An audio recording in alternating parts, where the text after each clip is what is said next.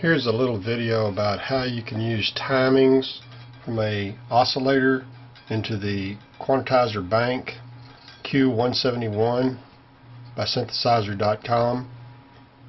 I have several different timing routines to show. This very simple routine starts with using the signal selector to select a slow timing from an oscillator is very slow timing going into quantizer bank. Of course you can change the scale from major, augmented, minor, diminished.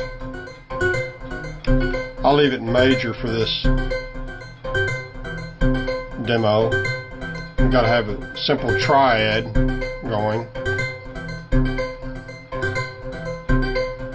Now, also I have another oscillator set up to do a faster timing.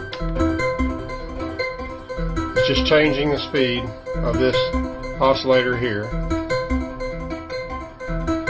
which is hard sync to the main oscillator that's doing the up and down notes to the quantizer.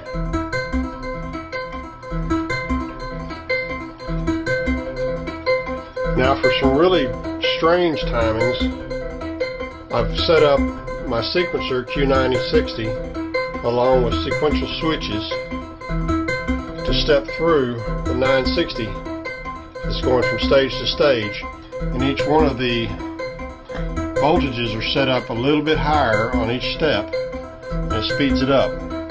So we'll just go on straight to it by switching over from my signal selector. It picks up number three. Now it's going to four. We'll just sit back and listen to some of the timings coming out of the quantizer bank 171.